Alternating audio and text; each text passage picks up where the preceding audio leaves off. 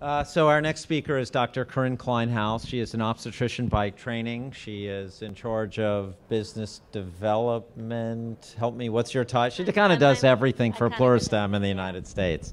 Um, Dr. Kleinhaus and I have been talking for the last two years. I've been following Pluristem for the last six or seven years.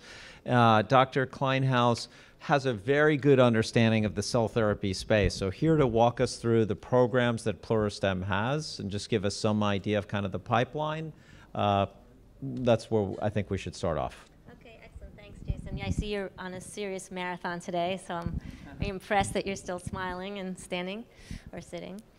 Um, so my company's Pluristem, and we make cell therapies we target a variety of diseases with different products, each of which is a, pretty much an unmet need with poor treatment options, and most of which are also very large um, global market sizes. We have uh, our own manufacturing facility, which is uh, quite a big differentiator in the space. The facility and our manufacturing processes are approved by the FDA, the EU, and the Japanese PMDA. Uh, and we have a very large capacity at the facility, though we are still in clinical trials and are, uh, don't need to use it quite yet.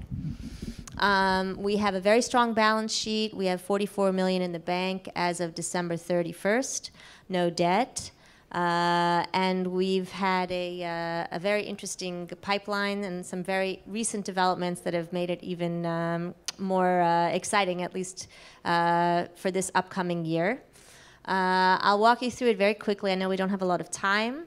Um, our first product is something called PLX PAD. And what it does is address uh, diseases that are related to inflammation, to fibrosis and muscle injury, uh, and also to, um, to ischemia in the tissue, tissue that doesn't have enough blood flow the way all our products work, and this product, of course, as well, um, is the cells are injected into the muscle with no matching. Uh, with a simple syringe, and they sense chemical distress signals from damaged tissue, and in response, depending on the product, they secrete a range of therapeutic proteins to address the issues of that disease. So, with our first product, our lead indication is something called critical limb ischemia, which is when cholesterol blocks blood flow to the legs, uh, and you have um, damage, gangrene, and major amputation. Uh, it's a very risky and life threatening disease with poor treatment options. So, in our case, we had um, made a lot of progress. We really wanted to shorten time to market, and a company our size, that's obviously a key thing that we want to achieve. We identified two opportunities, both of which we were lucky enough to, um, to achieve, to reach. The first one is in Europe. There's something called the Adaptive Pathways Project, where um, European uh, EMA will give you guidance and help you as you design a phase two trial, which, if successful, can be the basis for applying for marketing authorization. We're one of only a few companies in the world that were accepted into that pathway. Uh, and we're working now on getting our final protocol. We estimated it to be about 180 patients. In Japan, there's a similar trial in regenerative medicine generally, um, which again lets you apply for marketing approval, conditional marketing approval, after a single phase two trial. Our study was uh, protocol was approved in 70 for 75 patients, again for critical limb ischemia, and we're uh, very excited at that opportunity to save several years and obviously tens of millions of dollars in development costs. And that uh, also makes us uh, interesting to pharma which would also like to save tens of millions of dollars in several years in development costs and development time. Um, we have very nice trial data for muscle injury, which I'll skip over since I know I have very little time. Um, that's something that we had uh, very nice phase two data, and we're looking to partner out. Our second product, um, which is called PLX R18, the proteins secreted from there target bone marrow function so or bone marrow dysfunction. Um, we have two lead indications there. The first one is uh, being funded and uh, paid for and conducted by the U.S. government. The uh, NIH has been running trials with this for uh, treatment of acute radiation syndrome, which is how you die after a bomb um, or a reactor meltdown. Um, they did two small animal trials, which showed really um, beautiful results. The, in the first one, we had about 100% survival in the treated animals who had been irradiated and about 30% survival in the untreated animals who'd been irradiated. The second trial, they looked at mechanism of action. It's quite an elegant study. Uh, and they're now initiating dose evaluation trials in large animal model um, as the basis for a pivotal trial in large animal models. This would be approved through the animal rule where there's no human efficacy uh, trials, and that's uh, initiating this year as well. The second uh, indication for this second product is um, bone marrow transplant failure, and we've received FDA clearance to start a phase one trial um, in the US as well for that indication. And that's as fast as I can go. I don't know uh, what, how you'd like to go from here. Well, no, I'd like to think about a couple of things, but you didn't mention preeclampsia, and you, you I and I talked about that. that, Yeah, and you know, given your training, uh, and and you know, is that a program that we'll be hearing more from as well? That is the plan. So preeclampsia, we had done a series of preclinical of animal trials, small animal trials, uh, and we had very nice results. We also did a series of toxicology trials. It was looked at at Charles River Labs, where the cells were given to um, pregnant mice. Uh, and we saw no problems, no health um, signatures either in the mother or in the developing fetus. Um, these are for preeclampsia, which is a uh, disease of pregnancy where um, there's high blood pressure, there can be uh, end organ damage. It occurs in about 3% of pregnancies. In 1%, there's severe preeclampsia, and women can have seizures, liver failure, kidney failure, and death. It's actually one of the leading killers of pregnant women around the world. And about 3% of US pregnancies uh, are afflicted with preeclampsia, and there's no treatment except for take, delivering the baby, which could be at five or six months with a lot of um, obviously problems um, after that. So we had a lot of very nice uh, animal data. We applied to the FDA to start a phase one, and they requested for us an additional um, set of toxicology of you know safety studies in small animals, which we are conducting now. Um, and we're very, very eager to finish that and resubmit to begin a phase one. Obviously, it's a little tricky to do um, trials on pregnant women, but at this point, um, the disease is so dangerous for both the women and the um, fetus if it's delivered early that we're hopeful that um, the need for treatments will be recognized and we'll be able to proceed. So, you know, one of the things that I think about a great deal is the competitive landscape. But we heard from Mesoblast, Athersys follows this presentation, and what Athersys, Mesoblast, and Pluristem share in common is they're allogenic, essentially ready, off the shelf, readily available. Um, Athersys is pushing very hard on stroke, Right. pushing very hard in Japan.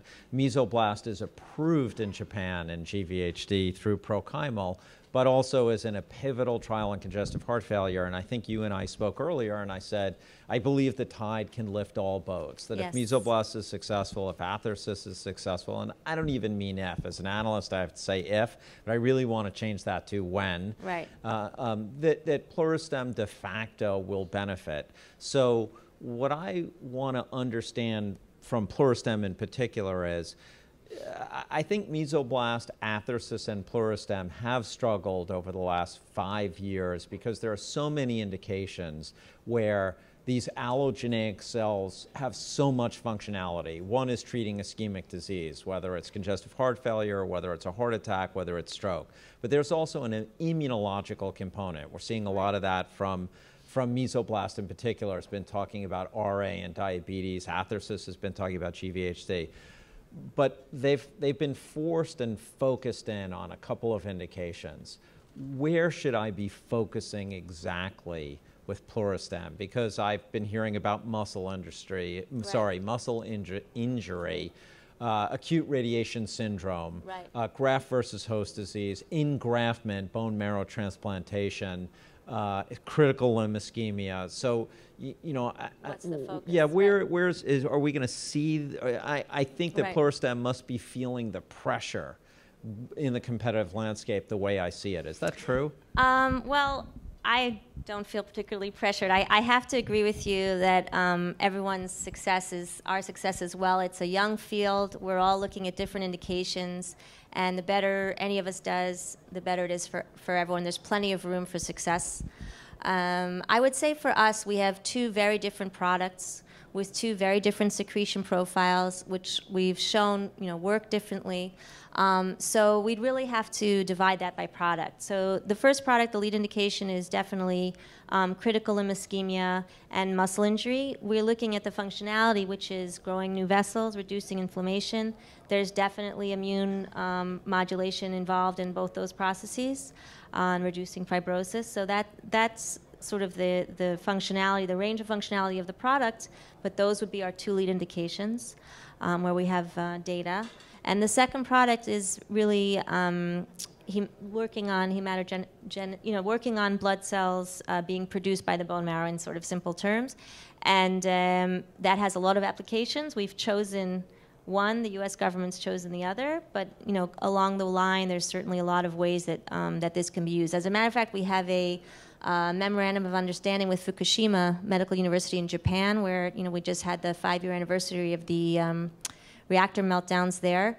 Uh, and they are studying our cells as well for acute radiation syndrome, but also as an adjunct to radiation therapy for cancer. Um, they're looking to see if they can use higher levels of radiation and then rescue um, with our cells. So I think that in our case, we're looking at the functionality of each product, and then we line up the indications. Just you know, we have to prioritize.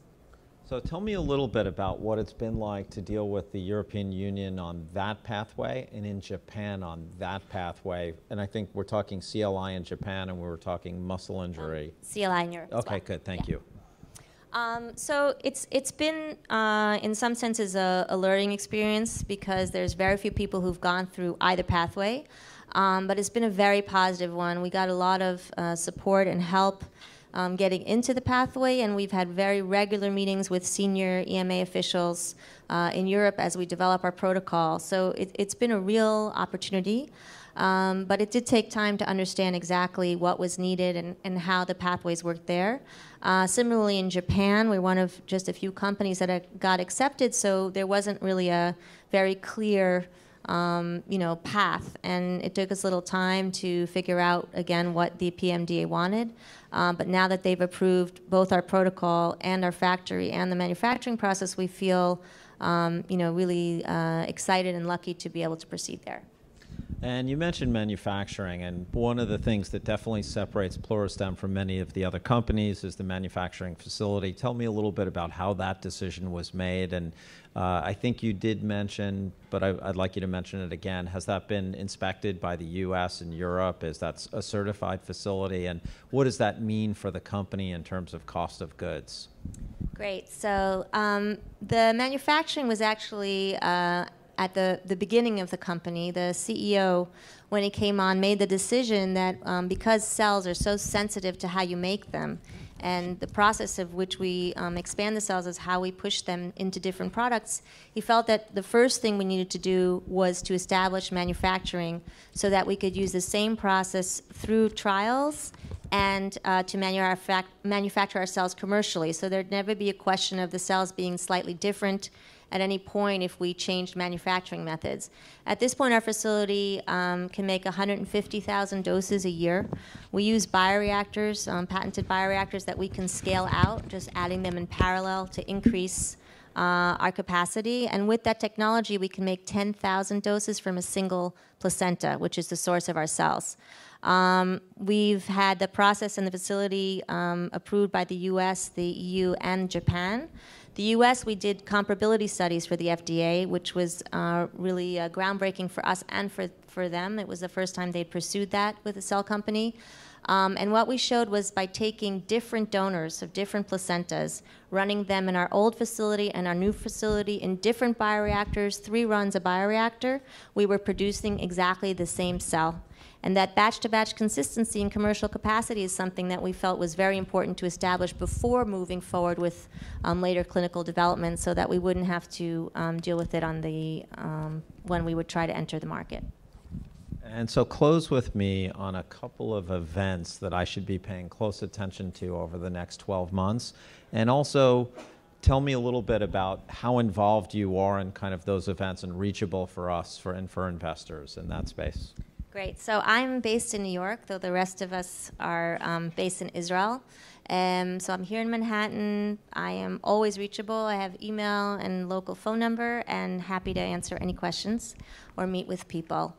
Um, our milestones this year are pretty clear. We're initiating a pivotal phase two, though that sounds funny, but a, a pre-marketing phase two in EU and CLI which is a 12 billion global market. We're initiating a um, pivotal or pre-marketing phase two in Japan, again for CLI. The U.S. government is initiating the pivotal or final stage animal trials. We're expecting them to initiate this year. Um, in uh, our second product to treat acute radiation syndrome and we have clearance to start our phase one in, um, in failure of engraftment of bone marrow transplantation here in the U.S. This is all forward-looking. You know, we're expecting to initiate, of course. You know, we don't pay a lot of attention to things like acute radiation syndrome, and you mentioned that you know in the tragedy that there's a dirty bomb you know, and, and that uh, one of the things that will kill people, at least in the 15 kilometers outside the immediate blast radius, is going to be acute radiation syndrome or cancer or hematological uh, malfunction. And so you're saying that the government is kind of interested in medical countermeasures and that that's an area where Pluristem is working. Not something that any of us ever wants to think about, but it is kind of nice to know that, you know, you're working in this area. And certainly the therapeutic potential in that area could be huge, right? You were talking about cancer. Right. Okay, terrific. Thank you so much. Thanks so much, Jason. Pleasure as always.